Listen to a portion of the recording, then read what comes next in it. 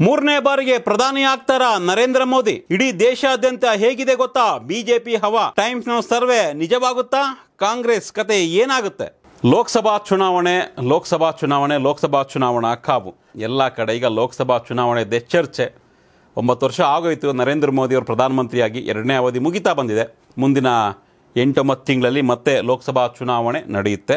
ಹೀಗಾಗಿ ಈ ಯಾವುದೇ ಒಂದು ಪಕ್ಷ, ಯಾವುದೇ ಒಬ್ಬ ವ್ಯಕ್ತಿ ಹತ್ತು ವರ್ಷಗಳ ಕಾಲ ಆಳ್ವಿಕೆ ನಡೆಸಿದಾಗ ಸಹಜವಾಗಿಯೇ ಆಡಳಿತ ವಿರೋಧಿ ಅಲೆ ಅನ್ನೋದು ಬಂದಿರುತ್ತೆ ಅನ್ನೋ ಒಂದು ಚರ್ಚೆ ರಾಜಕಾರಣದಲ್ಲಿ ಆಗುತ್ತೆ ಭಾರತದ ರಾಜಕಾರಣದ ಇತಿಹಾಸದಲ್ಲೂ ಕೂಡ ಕಳೆದ ಮೂವತ್ತ್ನಾಲ್ವತ್ತು ವರ್ಷಗಳಿಂದ ಅದು ಮತ್ತೆ ಮತ್ತೆ ಪ್ರೂವ್ ಆಗಿದೆ.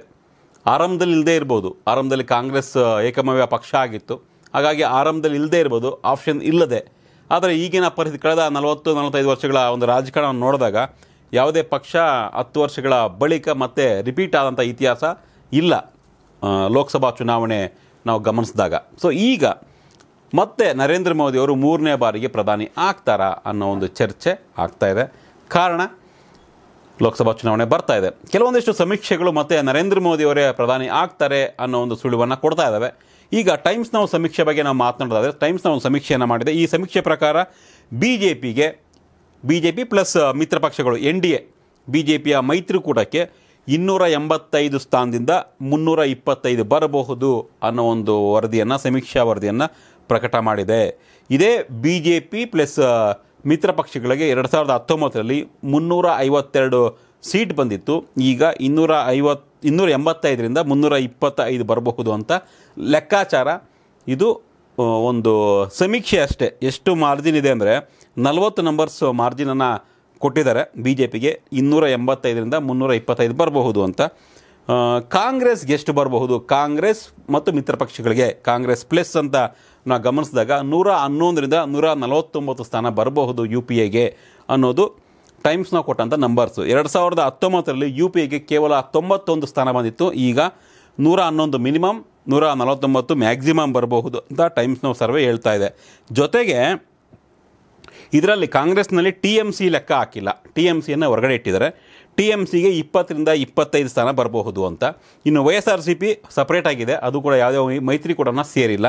Y S R C P ಕೂಡ ಇಪ್ಪತ್ತೈದರಿಂದ ಇಪ್ಪತ್ತ ನಾಲ್ಕರಿಂದ ಇಪ್ಪತ್ತೈದು ಸ್ಥಾನ ಗೆಲ್ಲಬಹುದು ಆಂಧ್ರದಲ್ಲಿ ಅಂತ.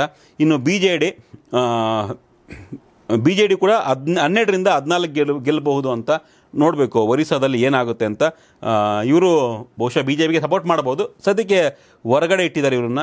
ಆಮೇಲೆ ತೆಲಂಗಾಣದ B R S B R S ಕೂಡ ಒಂಬತ್ತರಿಂದ ಹನ್ನೊಂದು ಸ್ಥಾನ ಗೆಲ್ಲಬಹುದು ಅಂತಿದೆ. ಆಮೇಲೆ A A P A A ಪಿನೂ ಕೂಡ ಕಾಂಗ್ರೆಸ್ಗೆ ಸೇರಿಸಿಲ್ಲ. Congress plus U P A ಮೈತ್ರಿ ಕೂಡ ಸೇರಿಸಿದೆ. ಎ ಎ ಪಿ ಕೂಡ ನಾಲ್ಕರಿಂದ ಏಳು ಸ್ಥಾನವನ್ನು ಗೆಲ್ಲಬಹುದು ಲೋಕಸಭೆ ಅಂತ ಹೇಳ್ತಾ ಇದೆ. ಆಮೇಲೆ ಸಮಾಜವಾದಿ ಪಾರ್ಟಿ ನಾಲ್ಕರಿಂದ ಎಂಟು ಸ್ಥಾನ ಗೆಲ್ಲಬಹುದು ಅಂತ ಈ ಒಂದು ಸರ್ವೆ ಹೇಳ್ತಾ ಇದೆ. ಸೊ ಒಂದು ವೇಳೆ Samajwadi party A A P ಅದಾದಮೇಲೆ ಟಿ ಎಂ ಸಿ. ಇಷ್ಟು ಮೂರು ಪಕ್ಷಗಳೇನಾದರೂ ಕಾಂಗ್ರೆಸ್ ಸಪೋರ್ಟ್ ಮಾಡಿದ್ರೆ, ಮೈತ್ರಿಕೂಟಕ್ಕೆ ಒಂದಾದರೆ, ಅವಾಗೊಂದು ಇಪ್ಪತ್ತು ಪ್ಲಸ್ ಐದು ಐದು, ಒಂದು ಮೂವತ್ತು ಸ್ಥಾನ, ಮೂವತ್ತರಿಂದ ಮೂವತ್ತೈದು, ಮೂವತ್ತರಿಂದ ನಲವತ್ತು ಸ್ಥಾನ ಪ್ಲಸ್ ಆಗಬಹುದು ಅಂತ. ಆವಾಗ ನೂರ ನಲವತ್ತರಿಂದ ನೂರ ಎಪ್ಪತ್ತಕ್ಕೆ ಹೋಗ್ಬಹುದು ಅಥವಾ ನೂರ ಎಂಬತ್ತಕ್ಕೆ ಹೋಗ್ಬೋದು ಯು ಪಿ ಎದು ಅನ್ನೋ ಲೆಕ್ಕಾಚಾರ. ಅಂದರೆ ಈಗ ಈ ಯು ಪಿ ಎ ಮೈತ್ರಿಕೂಟದಲ್ಲಿ ಟಿ ಎಂ ಸಿ ಅದಾದಮೇಲೆ A A P S P ಈ ಮೂರು ಪಕ್ಷಗಳನ್ನು ಹೊರಗಿಟ್ಟು ಈ ಒಂದು ಸಮೀಕ್ಷೆ ನಂಬರ್ಸನ್ನು ಕೊಟ್ಟಿದ್ದಾರೆ. ಯಾಕೆ ಇವ್ರನ್ನ ಸೇರಿಸಿಲ್ಲ ಅನ್ನೋದನ್ನ ಟೈಮ್ಸ್ನ ಕೊಡ್ತಿರೋ ಕಾರಣ ಅಂದರೆ ಇನ್ನೂ ಸಕ್ಸಸ್ ಆಗಿಲ್ಲ ಈ ಒಂದು ಮೈತ್ರಿಕೂಟ. ನಡೀತಾ ಇದೆ, ಚರ್ಚೆ ಆಗ್ತಿದೆ ಅಂತ. ಈಗೇನು ಜುಲೈ ಹದಿನೇಳು ಮತ್ತು ಹದಿನೆಂಟು ಬೆಂಗಳೂರಲ್ಲಿ ಸಭೆ ಇದೆ. ಆ ಸಭೆ ಬಳಿಕ ಒಂದು ಚಿತ್ರಣ ಸಿಗಬಹುದು. ಒಂದು ಕಡೆ ಎನ್ ಸಿ ಪಿ ಇಬ್ಬಾಗ ಆಗ್ತಾ ಇದೆ. T M C A A P ಕೆಲವೊಂದಿಷ್ಟು ಷರತ್ತುಗಳನ್ನು ಹಾಕ್ತಾ ಇದ್ದಾರೆ ಕಾಂಗ್ರೆಸ್ಗೆ. ಅವರ ನಡುವಿನ ಮಾತುಕತೆ ಆದ ಬಳಿಕವೂ ಕೂಡ ಸಾಕಷ್ಟು ಗೊಂದಲ ಉಂಟಾಗ್ತಾ ಇದೆ. ಹೀಗಾಗಿ ಟಿ ಎಂ ಸಿ ಅಥವಾ ಸಮಾಜವಾದಿ ಪಾರ್ಟಿ ಮತ್ತು ಎ ಎ ಪಿ ಕಾಂಗ್ರೆಸ್ಗೆ ಸಪೋರ್ಟ್ ಮಾಡುತ್ತೆ ಅಂತ ಎಲ್ಲೂ ಕೂಡ ಅನಿಸ್ತಾ ಇಲ್ಲ.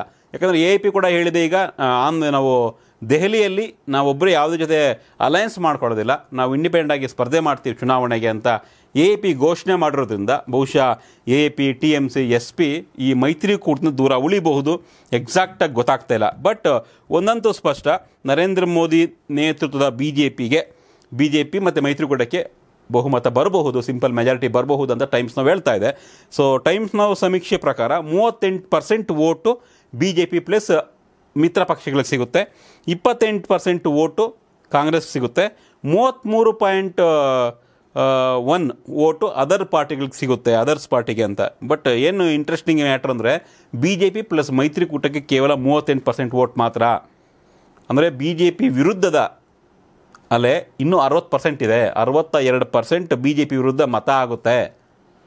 ಬಿ ಜೆ ಪಿ ಪರವಾಗಿ ಮೂವತ್ತೆಂಟು ಪರ್ಸೆಂಟ್ ಮಾತ್ರ ಇದೆ. ಬಿ ಜೆ ಪಿ ಮತ್ತು ಮೈತ್ರಿಕೂಟದ ಪರವಾಗಿ, ಎನ್ ಡಿ ಎ ಪರವಾಗಿ ಮೂವತ್ತೆಂಟು ಪರ್ಸೆಂಟ್ ಮಾತ್ರ ಪರವಾಗಿದೆ. ಉಳಿದ ಅರವತ್ತೆರಡು ಪರ್ಸೆಂಟು ಬಿ ಜೆ ಪಿ ವಿರುದ್ಧವಾಗೇ ಇದೆ. ಒಂದು ವೇಳೆ ಈ ಅರವತ್ತ ಎರಡು ಪರ್ಸೆಂಟ್ ಮತಗಳು ಒಂದಾದರೆ B J P ಸೋಲಬಹುದು.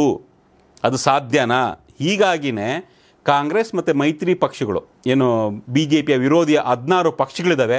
N C P, ಅದಾದಮೇಲೆ A A P, S P J D U, R J D, T M C, D M K, ಎಲ್ಲ ಪಕ್ಷಗಳು ಒಟ್ಟಾಗಿ ಹೋದರೆ ನರೇಂದ್ರ ಮೋದಿ ಮತ್ತು ಬಿ ಜೆ ಪಿಯನ್ನು ಸೋಲಿಸಬಹುದು ಮುಂದಿನ ಚುನಾವಣೆಯಲ್ಲಿ. ಬಟ್ ಒಂದು, ಒಂದಾದರೆ ಮಾತ್ರ ಆ ಒಟ್ಟಾಗೋದಕ್ಕೆ ಆಗುತ್ತೆ? ಸಾಧ್ಯ ಇದೆಯಾ?